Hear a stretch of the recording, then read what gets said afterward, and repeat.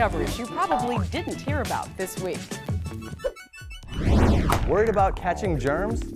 Well, check out what they're catching. This is a bacterial cell harpooning a piece of DNA. It's the first direct observation ever of this key step in how bacteria rapidly evolve new traits. The DNA fragments become part of the bacteria's genome it's called DNA uptake, or horizontal gene transfer. This new observation method involving glowing dyes will help scientists working to thwart the spread of drug resistance between species.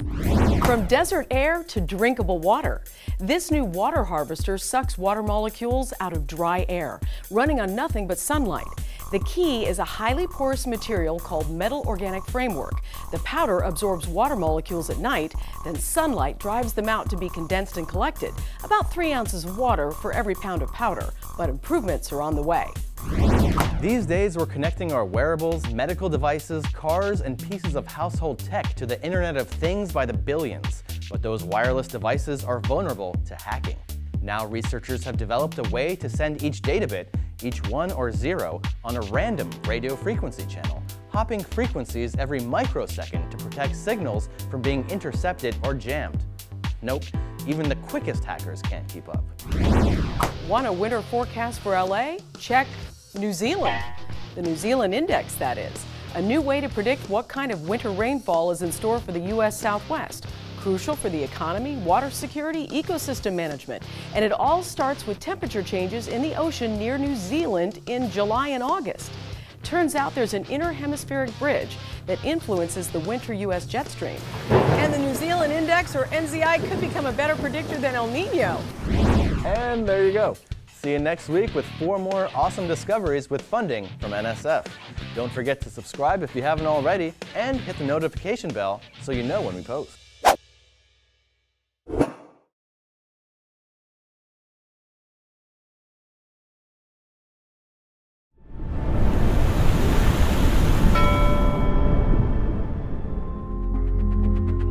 Traditionally, most of what we know about sea turtles come from the nesting beaches. That's where we have easy access to the animals. Females come up on these tropical beaches and lay their eggs in warm sand, and the female green sea turtle, for example, will lay about 100 ping pong ball size eggs, and she may lay two to eight nests within a season.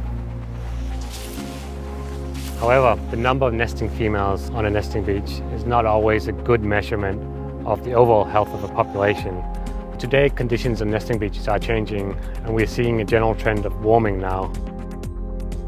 One of the really interesting things about sea turtle is that their sex is determined by the incubation temperatures of the eggs, with cooler temperatures producing more males and warmer temperatures producing more females. With only a few degrees can really alter the sex ratios of turtles' hatchlings. We don't know a lot about sea turtle sex ratios, so it's really important to get that data to help us determine the abundance of the population, the sex ratio, the survivorship of different sexes. But figuring out the sex of sea turtles is not easy. One of the big challenges that we have is that there's no physical characteristics that can be used to determine the sex of a sea turtle until it reaches sexual maturity, which is when the males develop a longer tail than the females. Most studies rely on measuring the temperature of nests to estimate the sex ratios that would have been produced given those temperatures. Another approach is to look at the sex ratios of sea turtles at a foraging ground. The foraging grounds give us a unique opportunity to look at the overall population because it's many years of different turtles being born on different nesting beaches which come to these foraging grounds. So you have immature turtles, which can be anywhere from 2 to 20 years old, and then you have mature turtles, which are generally 25 to up to 50 years old. So this work is done in strong collaboration with the Australian Government, the Queensland Parks and Wildlife, and the foraging ground that we studied is called the Howick Group. It sits in the northern part of the Great Barrier Reef. And from previous research we've done, we know that 90% of the turtles originate from the two Great Barrier Reef populations with roughly a 50-50% split. So a typical day in the field we catch somewhere between 70 to 100 green turtles in a day. After the turtle is caught, we take it back to the boat, we measure and tag it. We also take a blood sample that we use to find out whether it's male or female. And then we take a small tissue sample that we use for genetics to find out which nesting population these turtles belong to. What's quite unique about what we're doing is that once we apply the genetics and we can estimate the nesting origin of these turtles, we can actually calculate nesting population specific sex ratios for different size classes. So one of the surprising things that we found in this study was that the overall sex ratios at the foraging ground wasn't that alarming. It was slightly female biased.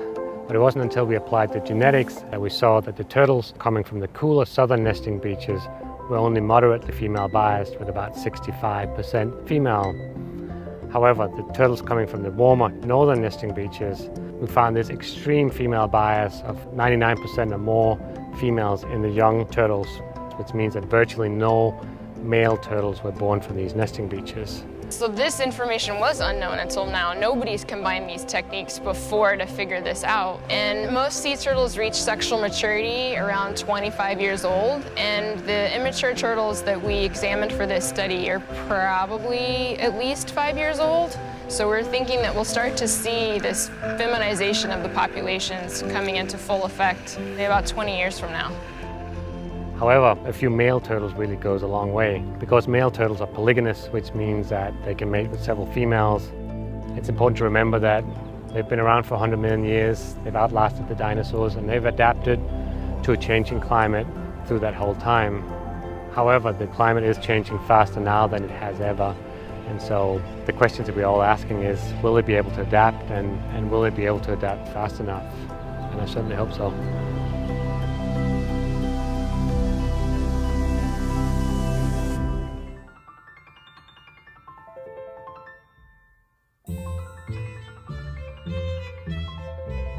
This spring aboard NOAA's ship Okeanos Explorer. Scientists set out to explore the deep waters of the Gulf of Mexico. Uh, includes depths to down to about 4,000 meters. Uh, so these include areas that have never been surveyed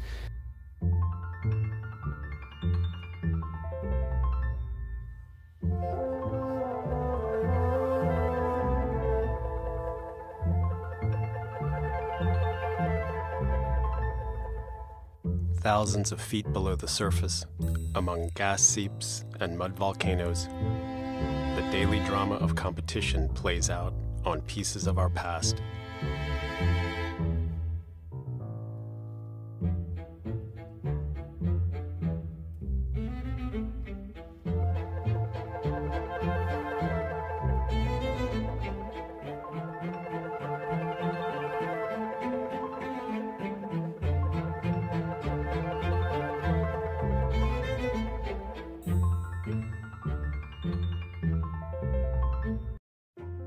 At another site, the team explored a wreck thought to be the New Hope, a tug lost in 1965 during Tropical Storm Debbie.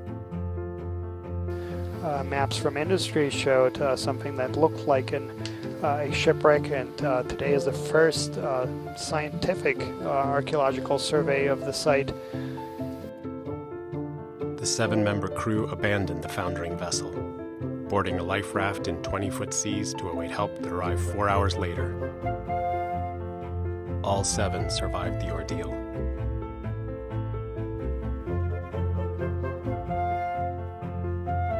In addition to several shipwrecks,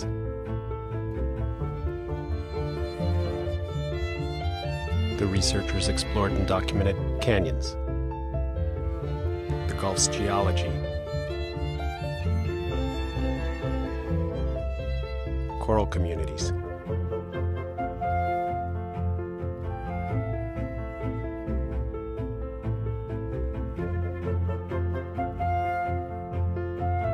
Species never seen before in the Gulf.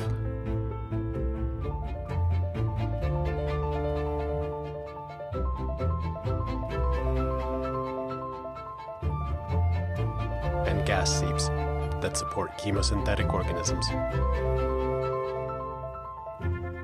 like these deep sea mussels, nourished by intracellular bacteria that convert gases from the seeps into nutrients. Indeed, the team witnessed wonders not seen every day.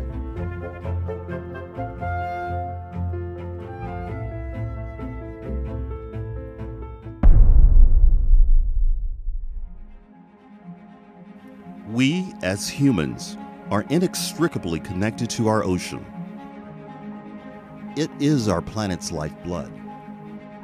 Many may not think much of our ocean, but it's with us every day. It provides our food and the oxygen we breathe. It regulates our climate and shapes our coastline.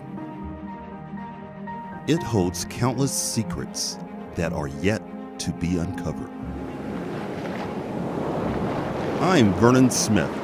Join me as we discover and explore the diversity of people, places, and jobs across NOAA's National Ocean Service. As the nation's premier ocean protection agency, NOAA's National Ocean Service is a community of people with diverse skills. We are protectors. We are chart makers. We are navigators, scientists, emergency responders, IT specialists, surveyors, analysts, collaborators, and partners. We are educators and we are interpreters. We support coastal communities and prepare them for changing ocean conditions. We help navigate our nation's waterways. We respond to disasters. And we protect the treasures of our ocean and Great Lakes. We are the eyes on the ocean and it is our observations that position America's communities, economies, and ecosystems for the future. America's history has been driven by the ocean. Our nation has been shaped by epic tides and currents that have swept along our shores. The ocean belongs to all of us. Within our waters, you will find thousands of different species of marine organisms. You will find diverse ecosystems from open ocean to coral reefs, kelp forests to tide pools. The ocean gives us a vast and varied bounty, from navigable waterways to scientific wonder. And the ocean connects us.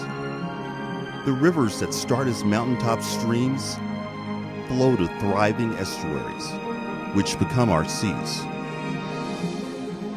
And in turn, as a diverse workforce, it's up to us to care for our nation's waters. Today, not only do we promote safe navigation and commerce, but we provide cutting edge science, support the management of coastal communities, foster stewardship in a diverse public, and protect our natural places for future generations. America's demographics are changing, and the way we engage with the ocean will shift with it. To effectively care for and support our nation's waters, our National Ocean Service approaches the ocean from diverse perspectives. We look to the future. We provide scholarships and mentorships. We partner with universities, museums, nonprofits, and parks. Through these opportunities, we support the next generation who will care for our nation's waterways. To meet the needs of tomorrow, to remain relevant to the ocean of the future, the National Ocean Service is investing in our people, our places, our communities, and a workforce as diverse as the ocean we support. We are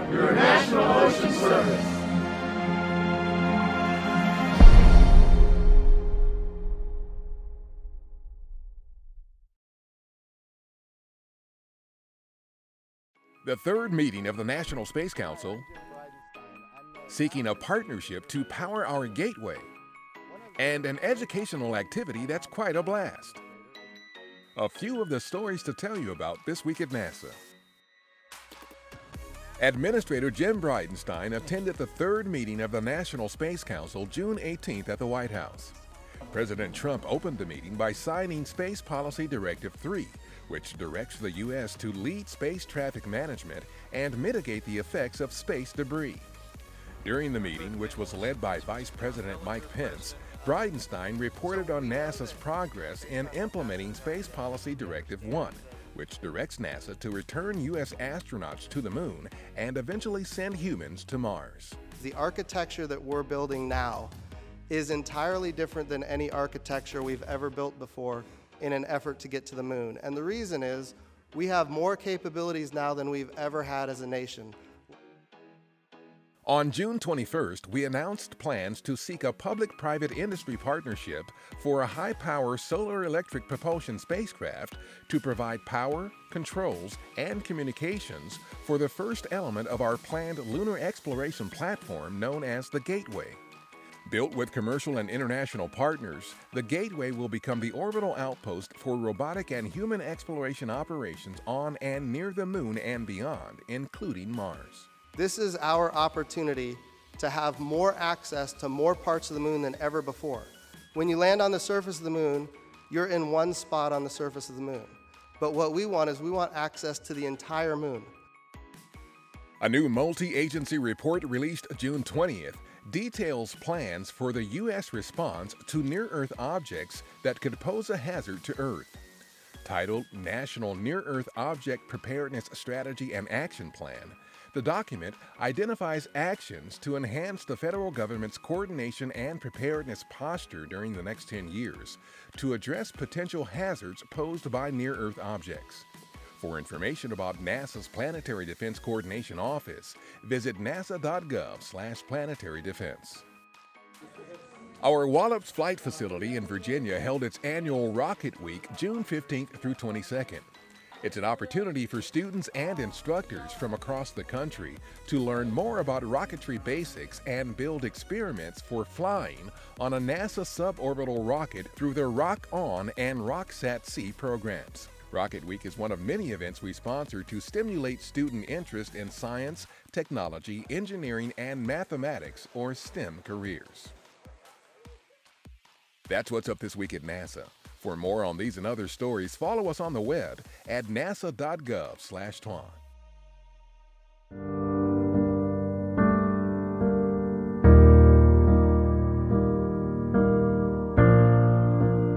I decided to become a corpsman because I wanted to be something bigger than myself. Anywhere you look across the world, you, you see that running to you when you really need them, that see that Red Cross or that caduceus on whoever it is, uh, foreigners or American, you know, it means something.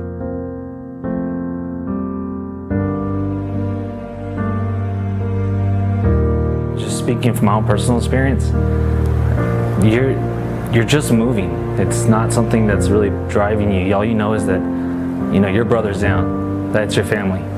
And in the day, if you don't do what your job is to do, you know, someone's gonna die. So just knowing that I have those brothers by my side and knowing that I had my uh, the closest family I've probably ever had to my actual family. Uh, I did everything I could to make sure they made it home alive. That make sure that I could say, hey, like you're okay, everything's fine. Hold the care of the sick and injured to be a privilege and sacred trust. And will assist the medical officer with loyalty and honesty.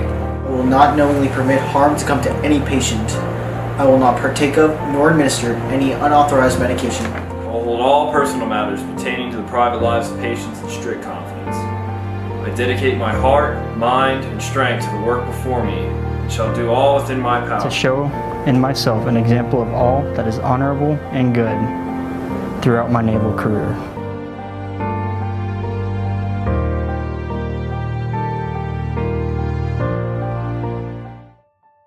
2017, a colossal chunk of ice roughly the size of the state of Delaware broke away from an ice shelf on the Antarctic Peninsula. The peninsula is warming at rates much greater than the rest of the planet, leading to large losses of sea ice, prime habitat for minke whales.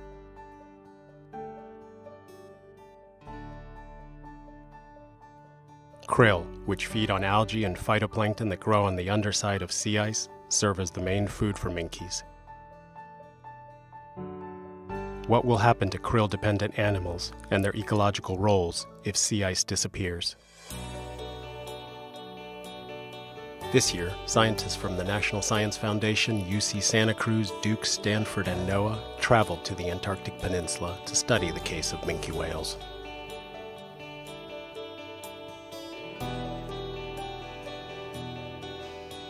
Using underwater echo sounders, drone photography,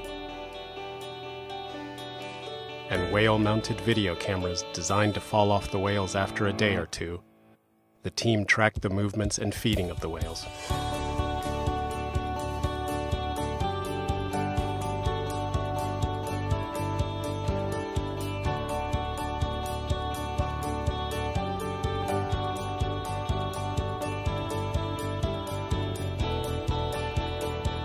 Dr. Chris Taylor with NOAA's National Centers for Coastal Ocean Science led the krill mapping using echo sounders to measure the location and size of krill swarms the minkies fed on.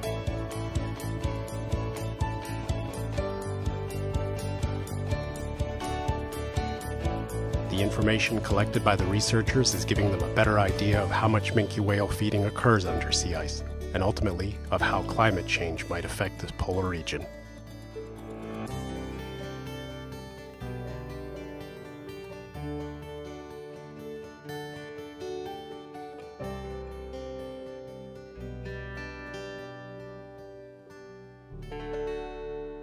Is Lindsay Draper, and I'm a physician and a postdoctoral research fellow in the laboratory of Dr. Christian Hinrichs, where we study T cell immunotherapy. Immunotherapy is studying the body's own immune system to fight off diseases. I have been interested in cancer research for a very long time. My mother was diagnosed with breast cancer when she was 31. I was very young at the time. I don't remember too much about it, but I remember that it was awful.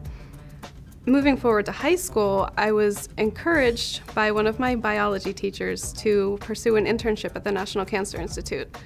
And this was an amazing experience that opened up the world for me. And after college, I wanted to further dive into this world of cancer research. My goal is mainly to identify T cell receptors, which are some of our white blood cells in our immune system that we know are able to fight off cancers. Every person has a unique set of T cell receptors that can recognize viral proteins, cancer cells, among other things. So the initial round of experiments would be to identify a group of white blood cells that are recognizing and killing tumor cells in a petri dish. And from there, I can better characterize that. Um, I can get the genetic sequence of the T cell receptor that we have found and move toward a clinical trial. The fascinating thing about working at the National Cancer Institute, our patients are in the same building as our laboratories. I get to see the full spectrum of the work. I think that patients should know that when they sign up for a clinical trial, they're not only fighting their own cancer, but they're fighting cancer in many, many other people as well. We have developed entire clinical trials based on information we've we've learned from one patient who enrolled in a trial. And it's just amazing the number of people that she's helped and will continue to help. The patients definitely inspire me and keep me working hard. They come with their families from across the country, brave, full of hope, ready for these trials, and their dedication both to to fighting their personal fight and also contributing to our understanding of their disease process so that we can help others is, is just incredible. U.S. Department of Health and Human Services, National Institutes of Health, National Cancer Institute, cancer.gov, 1 800 4 Cancer.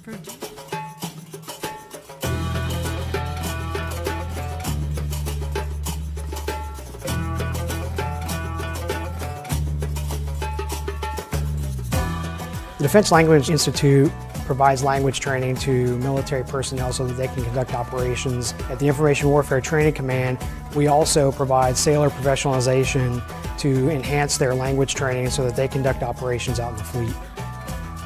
Back in 1941, it was recognized that we needed a foreign language capability within our armed forces, and so the first language school was uh, developed up at Crissy Field the Presidio of San Francisco. And during the World War II period, the school moved a couple times. And then after World War II, the school finally settled here at the Presidio of Monterey, where it remains today. Marhaba, Ismiri, Kifak. Привет. Ni hao. Marhaban. Salam. Привет. Здравствуйте. مرحبا سلام اسم من هستیه من در نیروی دریایی هستم و این مدرسه زبان فارسیه I always thought it was really cool when other people spoke different languages. I'm from Southern California, so most people are bilingual. And in high school, we had to take Spanish, but it wasn't really something that I got too into. But yeah, I had no idea what Farsi was. I didn't even know like where they where they spoke that before I got here. The language training ranges anywhere from nine months to 64 weeks, depending on the difficulty of the language. We have them in class about seven to nine hours a day. And then after that, they can have up to three hours of homework. And that's not even including the study time. So study time, one to two hours on top of the three hours of homework. Um, they have to fit that in between their PT schedules and any other requirements, which is GMPs that we have for them. It's all about time management here and really being motivated to keep up that drive. Especially now that we're in third semester, we're not supposed to speak English in the halls, we're not supposed to speak English in the classrooms. So um, they kind of force you to be comfortable with speaking the language. So as CTIs, um, we are at the forefront of intelligence gathering, both at the point of collection and the point of dissemination. So information warfare is what we specialize in. And every day we are reminded by our CO here that we are here to deliver a war-fighting skill, not just to teach a language.